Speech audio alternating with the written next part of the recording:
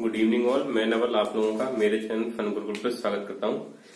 आज हम लोग पढ़ते हैं construction of binary tree using various traversal हमने लास्ट वीडियो में पढ़ा था tree traversal pre order traversal in order traversal और पोस्ट ऑर्डर ट्रेवर्सल ये हम लोगों ने पढ़ा था कि अगर हमको एक ट्री जो बने तो हम कैसे उसका इन ऑर्डर ट्रेवर्सल निकालते हैं प्री ऑर्डर ट्रेवर्सल निकालते हैं और पोस्ट ऑर्डर ट्रेवर्सल निकालते हैं। अब हम आज की वीडियो में पढ़ेंगे कि अगर हमको ये ट्रेवर्सल गिवन है और हमको एक बाइनरी इन ट्रेवर्सल से बाइनरी बनाने को पूछा गया है तो हम कैसे बनाएँगे? ठीक है? तो सबसे पहले हमको ये समझना होगा, सबसे पहले कि किसी भी यूनिक बाइनरी ट्री को बनाने के लिए हमारे पास कौन कौन से ट्रेवर्सल मालूम होना चाहिए?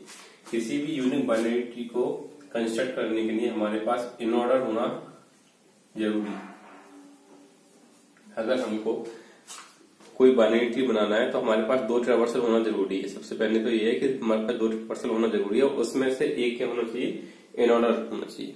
उसमें से एक क्या होना चाहिए? इन ऑर्डर उसके बाद हमारे पास प्री ऑर्डर हो, तब भी हम इन ऑर्डर और प्री ऑर्डर की हेल्प से यूनिक बाइनरी ट्री कंस्ट्रक्ट कर सकते हैं। या फिर अगर हमारे पास इन ऑर्डर है और पोस्ट ऑर्डर है, तब भी हम यूनिक बाइनरी कंस्ट्रक्ट कर सकते हैं। केवल इन ऑर्डर से यूनिक बाइनरी कंस्ट्रक्शन कर सकते हैं क्योंकि ऐसे, देखो, अगर मेरे पास एक ट्री गिवन है, और मुझसे बोला जाए कि इसका इन ऑर्डर निकालो तो मैं निकाल सकता हूँ। लेकिन अगर मुझे एक इन ऑर्डर गिवन है, और मुझसे भी पूछा जाए कि ये किस यूनिक बाइनरी का इन ऑर्डर है तो मैं ये नहीं बता सकता, क्योंकि वो इन ऑर्डर कई सारे ट्री बाइनरी का हो सकता है। मतलब कई सारे बाइनरी ऐसे हो सकते हैं जिसका इन ऑर्डर वो निकल के आए। ठीक है? तो अगर मुझे एक यूनिक बाइनरी बनाना है तो मेरे पास एक इन ऑर्डर होना चाहिए और प्री ऑर्डर या इन ऑर्डर और पोस्ट ऑर्डर ठीक है? मैं प्री ऑर्डर और पोस्ट ऑर्डर की हेल्प से एक यूनिक बाइनरी नहीं बना सकता। इसका मतलब क्या है कि अगर मुझे यूनिक बाइनरी बनाना है तो मुझे इन ऑर्डर तो मालूम होना ही चाहिए। साथ के साथ या तो प्री ऑर्डर हो या पोस्ट ऑर्डर हो।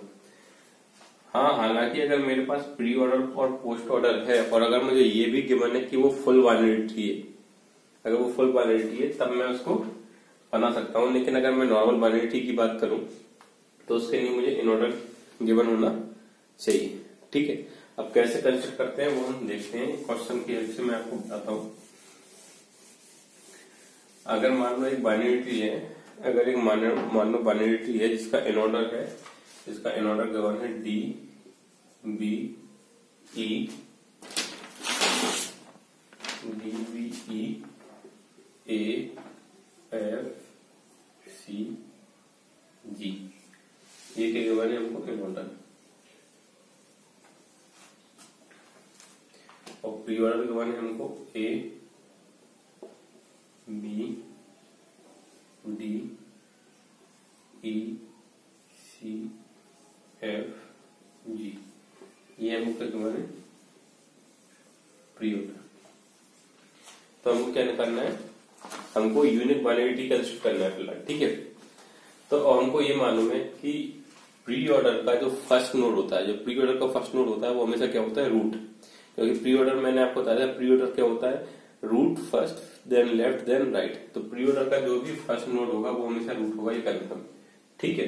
तो हमारा ए क्या बन जाएगा? रूट अब हम ए को देखेंगे इन ऑर्डर में कहा ए इन ऑर्डर में यहाँ पर. तो ए के लेफ़्ट में जितने भी नोड है वो इसके लेफ़्ट सब ट्री के पार्ट होंगे। D comma B comma E ठीक है? और राइट में जो जितने भी नोड है, वो कहाँ पर होंगे इसके? राइट सब ट्री के पार्ट होंगे।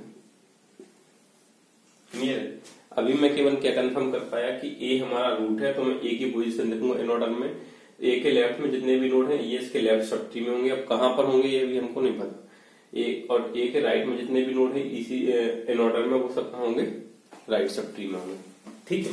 अब चूँकि ये बाइनरी ट्री है तो हर एक हर एक जो नोड होगा, उसमें केवल एक की वैल्यू होगी, ठीक है? अब देखेंगे हम।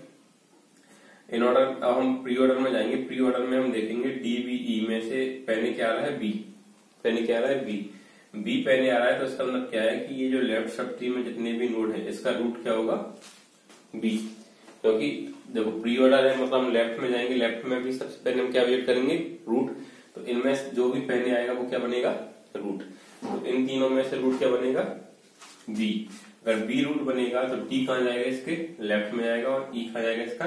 राइट में आएगा अगर यहाँ से समझ में नहीं आ रहा तो हम इन ऑर्डर में भी देख सकते हैं। बी अगर रूट बन गया तो बी के लेफ़्ट में जो है, वो लेफ़्ट सब ट्री में जाएगा। बी के राइट में जो है, वो राइट सब ट्री में जाएगा।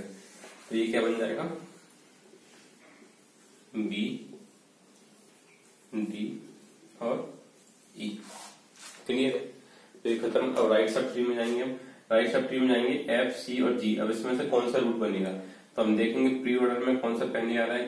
पहले क्या आ रहा है सी इसका मतलब क्या है? रूट क्या बनेगा? सी तो रूट क्या बनेगा? सी सी रूट बन गया। तो अब देखेंगे इन ऑर्डर में सी के लेफ़्ट में क्या है? एफ़ और राइट में क्या है? जी तो लेफ़्ट में क्या है? एफ़ राइट में क्या है?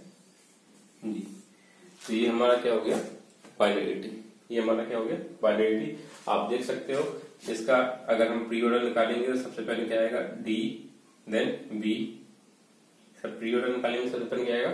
Root A then B then D E C F G clear तो ये हमारा क्या unique binary tree clear I hope आपको ये समझ में आया होगा।